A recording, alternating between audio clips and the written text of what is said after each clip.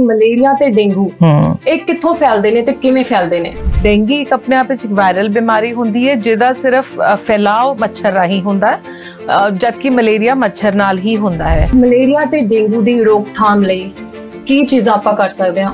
ਅਸੀਂ ਜੇ ਮੱਛਰਾਂ ਦੀ ਗਰੋਥ ਨੂੰ ਕੰਟਰੋਲ ਕਰ ਲਈਏ ਤੇ ਕਾਫੀ ਹੱਦ ਤੱਕ ਅਸੀਂ ਮਲੇਰੀਆ ਡੇਂਗੀ ਨੂੰ ਕੰਟਰੋਲ ਕਰ ਸਕਦੇ ਹਾਂ। ਵੇਖੋ programme healthy life doctor Kiranjot Kaur, senior medical officer ਦੇ ਨਾਲ। ਐਤਵਾਰ ਦੁਪਹਿਰ 3 ਵਜੇ, ਵੀਰਵਾਰ ਦੁਪਹਿਰ 2:30 ਵਜੇ। ਸਿਰਫ ਚੜ੍ਹਦੀ ਕਲਾ ਟਾਈਮ ਟੀਵੀ ਤੇ।